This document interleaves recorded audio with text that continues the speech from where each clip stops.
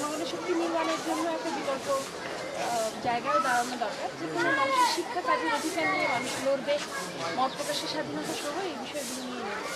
আমরা সবার কাছে যাচ্ছিলাম আমাদের বক্তব্যটা নিয়ে। পড়বেন আমাদের লিখকটা আর আপনার ভোটটা আপনার অধিকার। হ্যাঁ ফলে আপনি একটা বিবেচনা করে যাচ করে ভোটটা দিবেন। আর আমরাও আপনাদের বিবেচনার জন্য আমাদের কথা যদি আমাদের বিপক্ষে থাকে তাহলে আমাদেরকে। হ্যাঁ,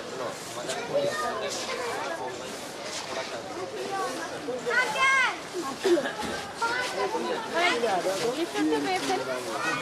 এই অনেকদিন তো আওয়ামী লীগ বিএনপি শাসন দিয়েছে। তা- মিলন ভাই। আর আমরা আমাদের দল করছি। মানুষের সবার গণঅধিকার করতে চাই, অধিকার নির্যাতন করতে চাই।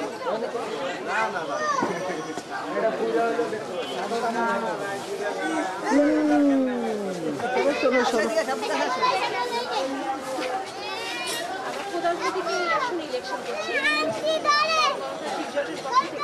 আওয়ামী লীগ বিএনপির বাইরে আমরা সাধারণ মানুষের অধিকার আদায়ের শক্তি গড়ে তোলার জন্য ইলেকশন করছি। আপনাদের সবার একটা সহযোগিতা।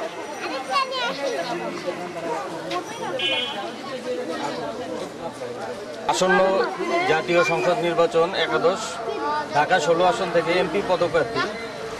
বাম গণতান্ত্রিক সমর্থিত বাসদ মাসবাদ নেতা নাইমা খালেদ, মনিকা, ম্যাডাম।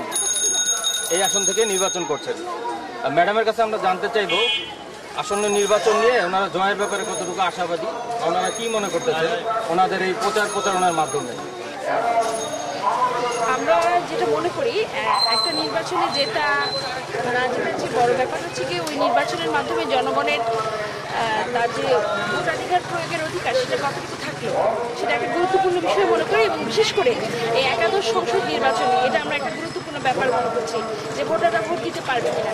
আর দ্বিতীয় ব্যাপার, আপনি যেটা বলছেন জয় পরাজয়ের ব্যাপার, আমরা মনে করছি যে যদি নির্বাচনে টাকার খেলা বন্ধ হয়, নির্বাচনে বেশি শক্তির ব্যবহার বন্ধ করা যায়, নির্বাচনকে নির্বাচনে প্রশাসনকে ব্যবহার করে যে রাজনীতি করা, সেটা বন্ধ করা যায়, ধর্মের ব্যবহার বন্ধ করা যায় তাহলে জয়ের ব্যাপারে আমরা আশাবাদী আমরা মনে করছি যে আমরা একটা ভালো ফলাফল পাবো। আসলে আমি যেই জায়গায় বড় হয়েছি যে কলেজে পড়াশোনা করতাম, সেই কলেজে ছাত্র শিবিরের একটা দখলদারি অবস্থান ছিল। সবসময় আমার মনে হতো যে এই দখলদারি অবস্থানের বিরুদ্ধে মানুষের কথা বলা উচিত আর রাজনীতিতে যে ধর্মের ব্যবহার, সেই ব্যবহার বন্ধ হওয়া উচিত। ফলে এই একটা মনোভাব, চেতনা আমার মধ্যে ছিল। তার প্রেক্ষিতেই আমার রাজনীতিতে যুক্ত হওয়া ছাত্রদের অধিকার আদায়ের কথা, শিক্ষা, বাণিজ্যের বিরুদ্ধে আমার অবস্থান ছিল। তার ধারাবাহিকতায় প্রায় বাইশ বছর ধরে আমার ছাত্র রাজনীতির ক্যারিয়ার। আমি সংস্থাটি ছাত্র ফ্রন্ট, কেন্দ্রীয় কমিটির সভাপতি ছিলাম। তো এখন আমাদের পার্টি রাজনীতি বাসদ মার্কবাদী রাজনীতির সাথে যুক্ত। ছাত্র রাজনীতি থাকা অবস্থায় আমি শ্রমজীবী, মেহনতি মানুষের কাছে গিয়েছি। আমাদের যে গার্মেন্টস শ্রমিকদের যে মধ্যে যে কাজ করা, সেই নারী শ্রমিকদের মধ্যে কাজ করা, সেটা তো আমার অভিজ্ঞতা আছে। আমি যেই অঞ্চলে কাজ করতাম, সেটা পুরোটা শিল্প অঞ্চল ছিল। সেই শিল্প অঞ্চলে ছাত্রদের মধ্যে কাজ করতে গিয়ে শ্রমিক মেসগুলোতেও আমার যাওয়া হয়েছে, শ্রমিক কলোনিগুলোতে যাওয়া হয়েছে। এবং যখন আমি জেলার দায়িত্বপ্রাপ্ত ছিলাম, গ্রামে ঘুরে ছাত্র সংগঠন গড়ে তুলেছি, ছাত্র রাজনীতি বোঝাতে গিয়েছি।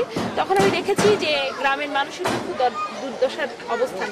ফলে এই কৃষক রাজনীতি, শ্রমিক রাজনীতির অভিজ্ঞতা আমি ছাত্র রাজনীতি করার মাধ্যমেও পেয়েছি এবং সেই জায়গা থেকে আমার একটা দায়বদ্ধতা তৈরি হয়েছে যে শ্রমজীবী মেহনতি জনগণের জন্য রাজনীতি করার। এটাই হচ্ছে আমাদের, আমার রাজনৈতিক দায়বদ্ধতা এবং মনে করি যে নিপীড়িত মানুষের সাথে ভালোবাসা ব্যতি রেখে একটা মানুষ বড় মানুষও হতে পারে না, রাজনীতির প্রতি দায়বদ্ধ মানুষও থাকতে পারে না। ফলে এটাই আমি চেষ্টা করছি।